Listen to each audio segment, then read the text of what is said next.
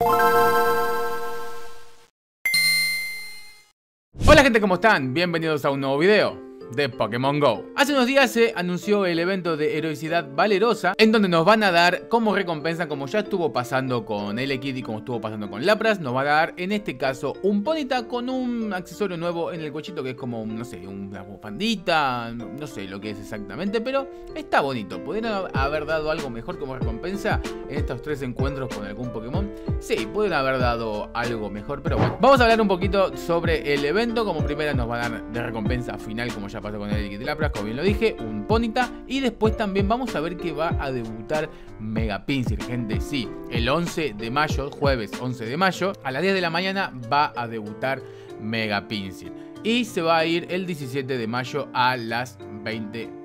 Así que vamos a tener una semanita para poder farmear a este Pokémon que si quieren un análisis déjenme saber abajo en los comentarios qué opinan y vamos a ver qué podemos hacer. Mega Pinsir hará su debut en las mega incursiones de Pokémon GO y también por supuesto puede salir Shiny. El bonus de evento que vamos a tener en este evento, el doble caramelos por capturar Pokémon y los entrenadores nivel 1 o superior van a tener más probabilidad de obtener caramelos XL. Así que esto es bastante muy bueno para la gente que ya es arriba de nivel 31.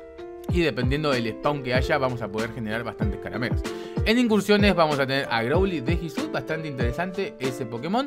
Vamos a tener a Ponyta de Galar, que puede salir Shiny. Vamos a tener a Hoot Hoot, que también puede salir Shiny. En incursiones de 3 estrellas vamos a tener Stonefish de Galar, que puede salir Shiny. Durigon también, que puede ser Shiny. Bravery de Hisui, que también puede salir Shiny. Y Avalok de Hisui, que también puede salir Shiny.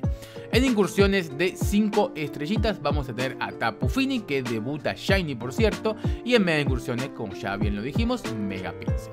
Después, un poquito más adelante, historia de investigación especial, heroicidad valorosa, bla bla bla bla bla bla, nos van a dar a Alponita de Candela con el accesorio que puede salir Shiny. Y si sale Shiny, es hermoso ese Pokémon. Vamos a tener una investigación temporal durante todo el evento y completando las investigaciones temporales vamos a conseguir un MT Elite de ataque rápido y un MT Elite de ataque cargado. Así que esta misión temporal aprovechen a hacerla porque MT Elite de ataque rápido y ataque cargado son muy valiosos estos, estos MT. Así que Ténganlo en cuenta.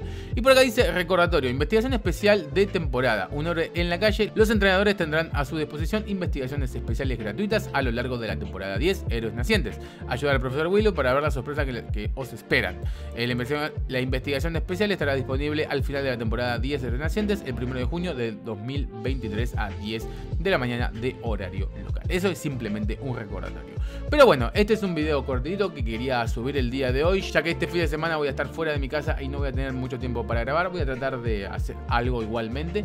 Pero bueno, quería dejarles con esta información que es lo último que sabemos de Pokémon GO. Además de que, bueno, el Community Day del 21 de mayo también, ese va a estar muy, muy, muy bueno.